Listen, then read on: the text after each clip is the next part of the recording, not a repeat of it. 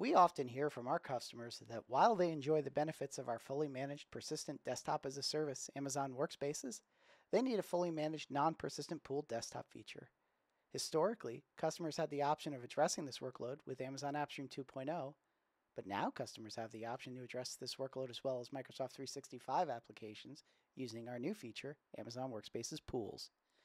My name is Steven Stetler, and I am the worldwide technical leader for end user computing covering Amazon Workspaces and Amazon AppStream 2.0. I'm going to show you how easy it is to deliver a persistent or non-persistent desktop as a service from a single pane of glass.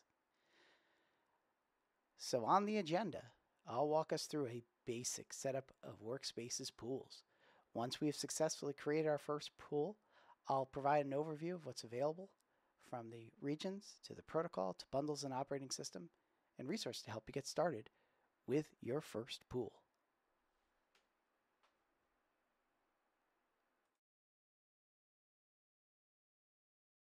Let's dive into the Amazon Workspaces console. Now you'll notice on the left, there's now a section for personal and pools. So we're going to start by creating a workspace. That's for pools, of course, but start by clicking that button. You'll notice that there is the opportunity here to let the workspaces service guide your selections. We're going to leave it as is. You can skip it, but we're also going to select no for non-persistent workspaces. And then the next thing we're going to do is talk about our use case. What's the workload look like? Selecting all general right now because we want a specific outcome. I want to take a moment to look at that operating system choice.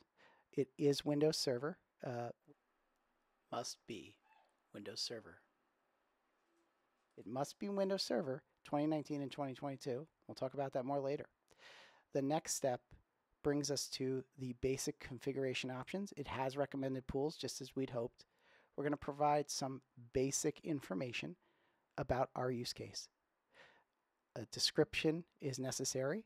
And then once that's done, we can jump to the bundle where we get to pick from the available public bundles as well as our personal workspace bundles we created. It must be Server 2019 or 2022 as well as WSP protocol. PC over IP is not supported.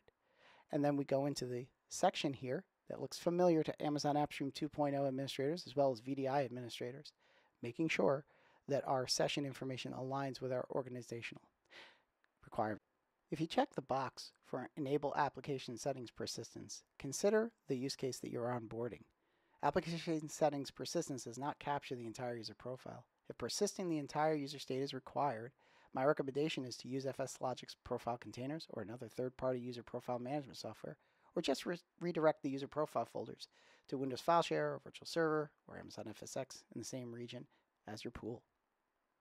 Capacity and scaling require some consideration for your users' working schedules and behaviors. What is the minimum number of workspaces at any given time to support this workload? What is the maximum?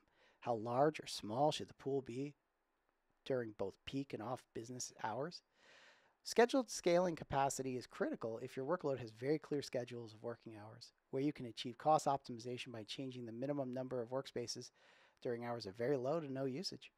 Manual scaling is also important to stagger the number of workspaces available through the workday by automatically adjusting by responding to alarms based off your organization's workload and users' behaviors will shift over time based on the flow of the business and busy seasons. So refining scaling policies to balance cost with availability is an ongoing administrative task. Now a directory must be created, a familiar construct to personal workspaces administrators. The pools directories are different, however, than a personal directory. Please take note that these settings as the process requires specific data for the new feature. Prior to starting this process, familiarize yourself with the steps outlined in the administrative guide for creating a workspaces pool directory. Take note that a SAML 2.0 identity provider must be configured in AWS Identity and Access Management, which is IAM, and later more AWS IAM and SAML 2.0 identity specific configurations that are outside of the scope of this video. Please refer to your SAML 2.0 identification documentation alongside our administration guide. The information you provide in the user identity source is only a placeholder to getting started as you will revisit this information much later. enter a value for the user access URL text box and leave the relay state parameter text box blank. Remember, you will edit this information after configuring your SAML 2.0 identity provider for Workspaces pools. This is the section of directory configuration that should be familiar to personal workspaces administrators. In the directory section, enter a fully qualified domain name that reflects the DNS name of my organization in the directory name text box and provide a description that will help you identify it later. Now let's take a moment to reflect on Virtual Private Cloud, VPC's configuration for workspaces pools. Unlike personal workspaces, the sizing you require for a pool may not be a one-for-one -one like it would be with workspaces personal because the total IP addresses are handled differently. If you anticipate a concurrent capacity of user sessions that are less than the total user base, you can size your subnets around that understanding. I caution that you leave enough IP headroom for failing over to one of the selected availability zones subnets, that's the AZ subnets, as well as any future growth. When creating subnets for your workspace's pools, VPC, refer to the administrative guide for which specific AZs are supported. Don't forget to select a security group that aligns with your organizational requirements for private network communications. Check out the VPC requirements section of the administrative guide to align all of your organizational requirements.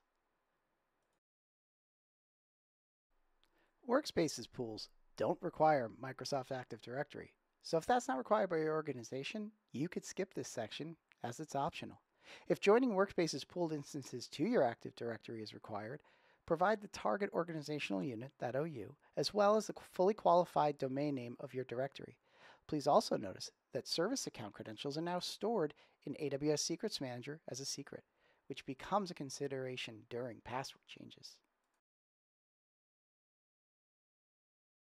The streaming properties and permissions are configured in the console with Workspaces pools, so please take a moment to review these settings to determine if the defaults are acceptable for the workload. If you want to enable home folders, ensure an Amazon VPC endpoint for S3 has been created, and your route table for Workspace's pool subnets points to that gateway. The administrative guide provides a detailed custom policy specific to least privilege for workspaces, so be sure to review the Amazon S3 VPC endpoints section of the administrative guide. The final configuration, and new to workspaces, is the optional ability to specify an IAM role that is assigned to Workspaces pools instances. When you're ready, click the Create Workspaces Pool directory. Now you can select that directory after refreshing the list and create the Workspaces pool.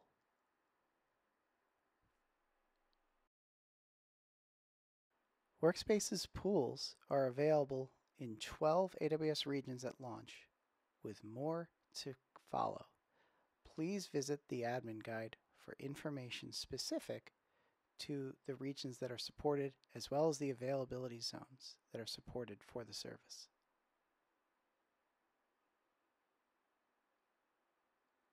Check out the resources provided for the administrative guide as well as the aforementioned region and availability zones for Workspaces pool link as well as configuring SAML and the Workspaces pools directory, the considerations around a VPC for Workspaces pools as we discussed, and then finally, Amazon S3 VPC endpoints. We want to stress security and the importance of configuring that.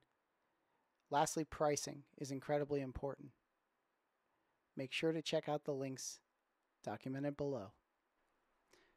Don't forget to download the latest Amazon Workspaces client for Windows and Mac OS, as well as the Web Access client to access Workspaces pools.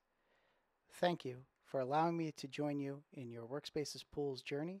My name is Steven Stetler, and I can be reached at stetlers at amazon.com. I look forward to hearing from you in the comments.